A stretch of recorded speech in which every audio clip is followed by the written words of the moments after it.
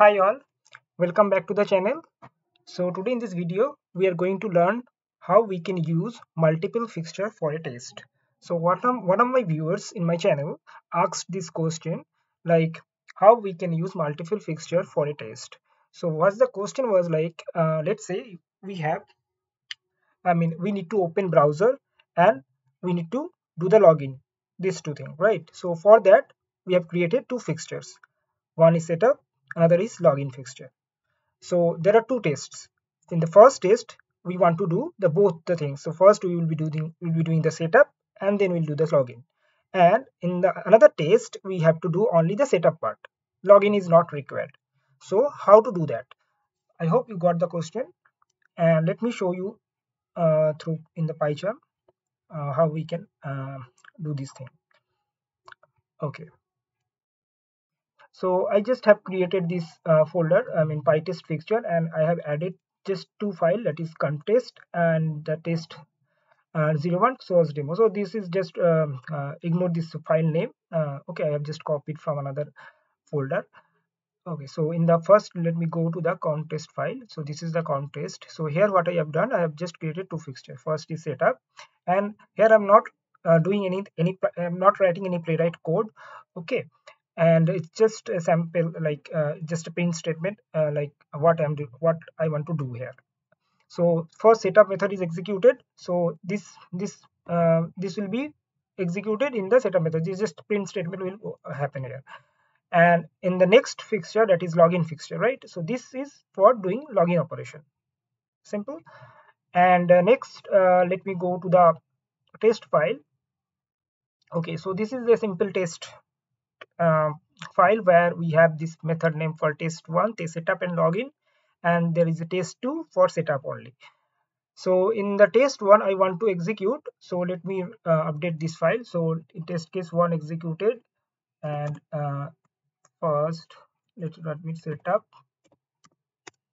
and tear down. No setup and login. And here in the test case 2 uh, only setup right. Now let me uh, here as you know like you need to give this fixture like this setup here and the setup. Maybe you can give the login here. So whatever things you are giving here let's say i'm giving setup. That means it will first check okay i got the setup here. So you have it, it, it will come here and it will execute this step first. Then it will return back here and it will execute uh, it will uh, ex yeah it will execute this step. Okay?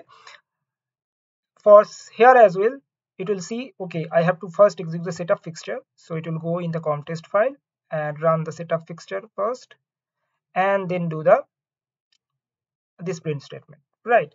Now let's say um, what uh, that we get get it right? Let me first quickly run it. Okay so i give him uh, pytest and this file folder name and then this file name and then minus s minus b so let's see what uh, what things we are getting here. So here as you can see as expected it's saying setup method is executed and then this line is executed. And after that this setup method is executed and then test case 2 is executed only setup. Right. That that's what we expected. But that was not the question right? The question was we first have to for test uh, for the uh, test one we need to execute both the fixture both setup and login. And for test case 2 we need to run only setup not login. So what we can do we can simply put a comma and use this login like this. That's it. So first first it will go take the setup one. Okay after that it will execute the login one. I mean in the count from the conftest file first it will uh, execute this setup fixture and then it will execute the login fixture.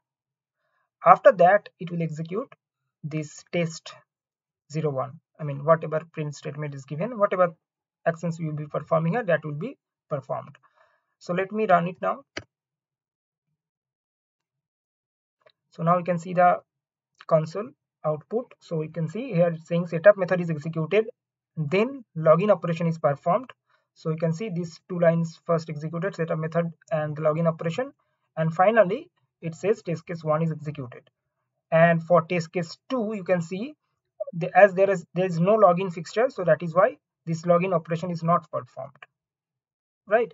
And simply you can just um, do like this. I mean whatever order will be set in that order it will only execute. So if you give the login first and then setup uh, then login operation will be performed first and then setup will be performed. Let's run it.